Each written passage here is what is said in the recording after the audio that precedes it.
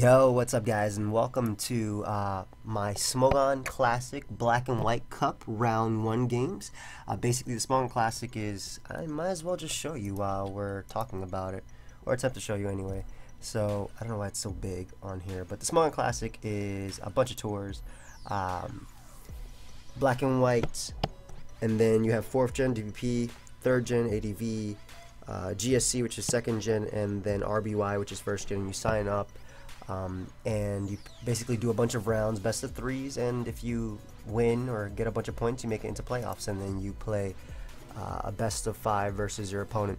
But um, in any case, here we have my black and white cup. I actually entered black and white uh, ADV and DPP, and I'll be bringing those games as soon as I play them. But here we have uh, my first game versus Fap King. He's actually a teammate of mine. He was on the uh, Wi-Fi Wolfpack alongside me. He played Little Cup. Now, um, my team actually has a pretty decent matchup, I would say, just because his answers to Latios are very limited, especially because I have HP Fire and Surf. So Hippo's going to be 2 KO'd easily without me having to go for Draco or drop a Draco, as uh, a young YouTuber once said. Ah. and I have HP Fire Ferrothorn. Um, I do want to worry or watch out for his Reuniclus, but between Taunt, Skarmory, SD Garchomp, Encore, Alakazam, and even Tyranitar, I feel like Reuniclus is dealt with pretty easily. So I decided to actually lead off with uh, my Rotom just because it matches up pretty well versus the majority of his team. I can burn most of his team with that as he chooses to lead off with his own Rotom. So I figured, okay, might as well just trade uh, Will-O-Wisp right here. I unfortunately missed uh, turn one, which I guess could have been bad if I didn't win this speed tie, or I don't know if it was speed tie. I was min speed Rotom.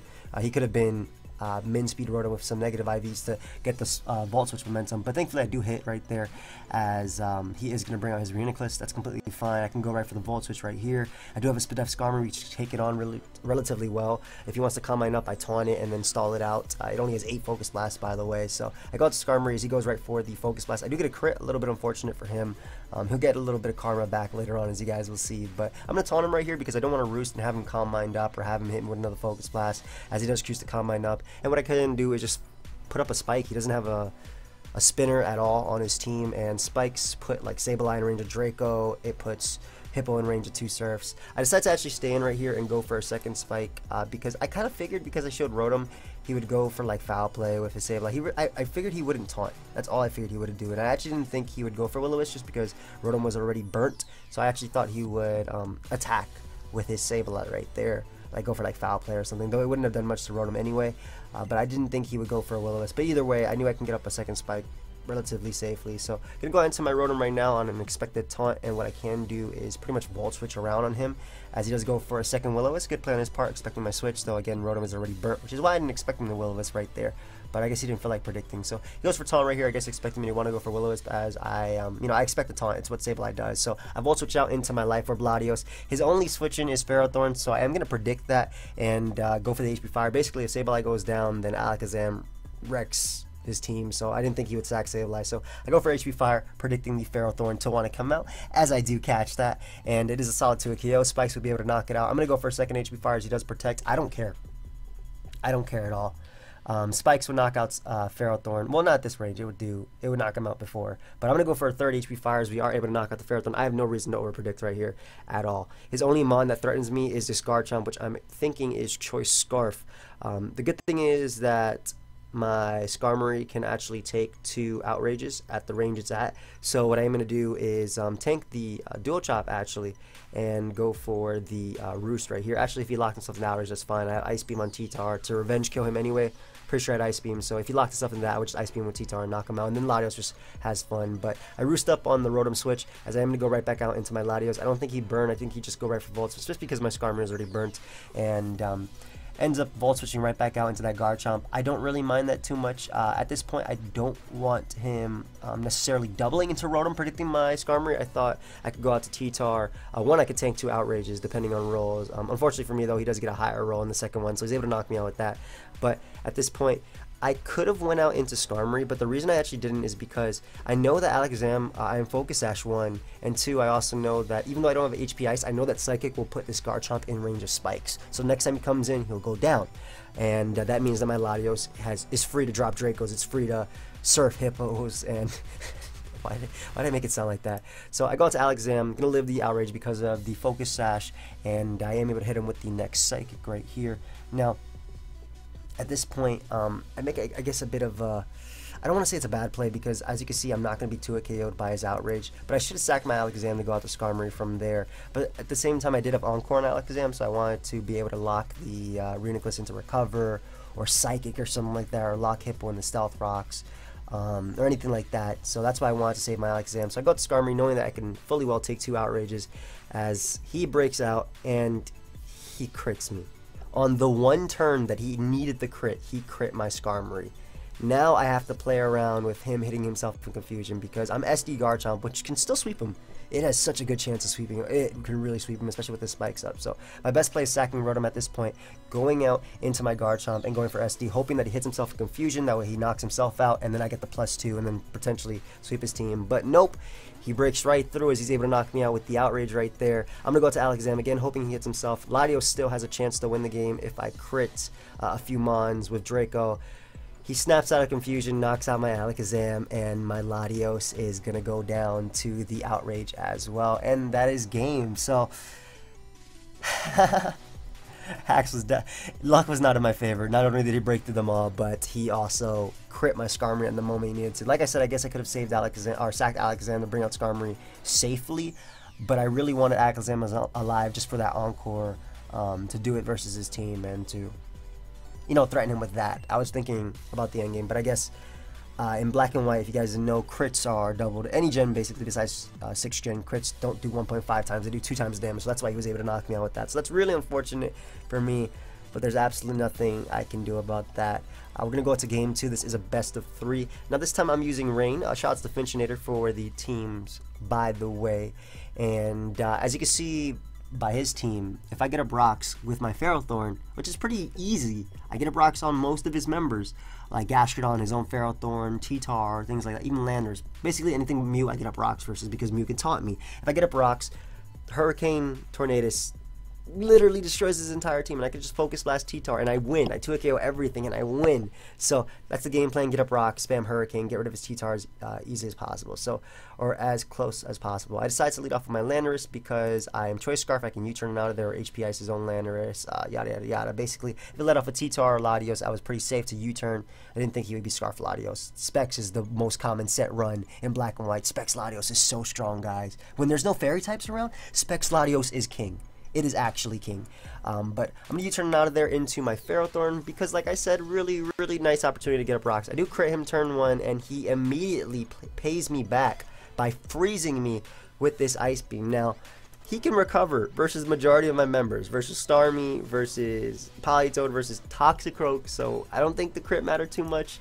I'm frozen, and, you know, Fap King actually being a friend of mine, he was like, do you want to restart the game? But I don't actually know if that's you know, in the rules or not. And it's Pokemon, so I was like, no, let's just keep playing, whatever. I hope to thaw right here. I actually go right for power first, just in case he wanted to recover, be a little bit cheeky right there as he brings out T-Tar. And right here, I expect him to Stealth Rock, so I'm actually going to go for the power up again, and then go for Stealth Rock in the following turn, which is my play. But he does Rocks up, and I am frozen. But I know that if he has a fire move, one Ferrothorn will live it. Even if it's Fire Blast, even if I'm four times weak to it, which it is, I know Ferrothorn can live it. Fire Blast will thaw my ice, uh, will thaw my frozen Ferrothorn, and I can get up rocks and still potentially win with my Tornadus. There's still a chance, but he crits me with the Fire Blast, and my Ferrothorn goes right down. So there goes the rocks, and now my play is. Now I actually have to hope for hacks. And some people might saying, "Well, Joey, you're complaining about hacks, and then you're going for hacks right here." Because basically, at this point, my chance, my only way of winning is freezing the Mew.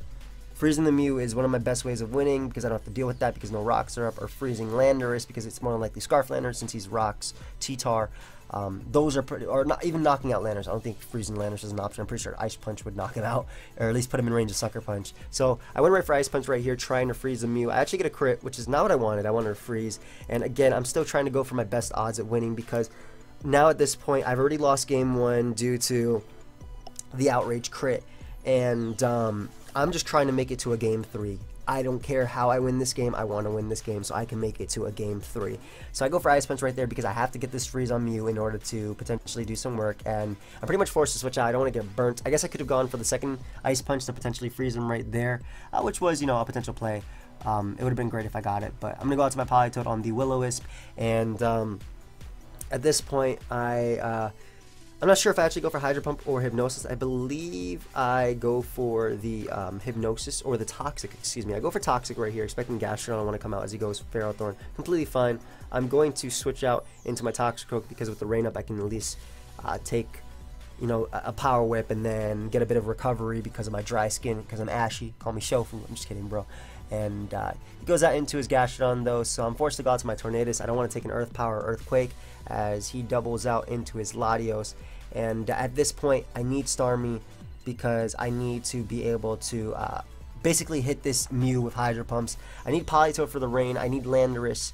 And uh, my hope right here is I need Landorus because I need to be able to, at least, if I can get rid of Latios and Landorus, I can sweep him with Earthquake. Uh, if I weaken his team. I, if, basically, I needed all my Mons, I felt at this point. I wanted to spin away the hazards uh, for Tornadus later, so at this point, I'm going for Hurricane to try and confuse him. Um, with Roxa, maybe I would have went for U-turn right there, but I do not, and he's able to drop a Draco and knock me out. As I am going to go out to my Starmie now.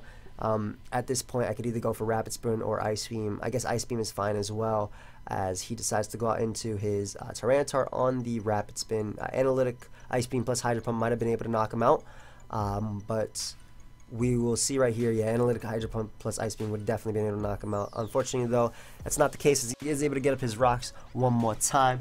And uh, at this point, I can go for Rapid Spin again. I could also go for Ice Beam if I want to. I decided to actually go for the Rapid Spin just because if I knock him out anyway, he's just going to go out to Scarf Landorus and U-turn into Latios and get a kill. So I'm able to Rapid Spin away his rock at least right there. So now I'm going for the Ice Beam trying to freeze him on a turn and force him to go for Scald to thaw out. Um, again, I'm going for my best possible play at this point. I don't have any other plays at this point, so I'm not just going to fall over and give up when I'm in this situation. So I go for the Ice Beam as he is able to knock me out with his own Ice Beam. As uh, what I can do now is go out into my... Um, what I can do now is go out to my Politoed and pretty much pray that I hit this Hypnosis because if I hit Hypnosis, I can potentially SD up and try and win. So he goes Ferrothorn. I actually go for the Ice Beam first right here. And then uh, now what I'm actually going to do is um, attempt to go for the Hypnosis as I do connect. Now at this point, I thought, okay, he has to know that if I go out to Toxicroak and SD up, he might be in a situation.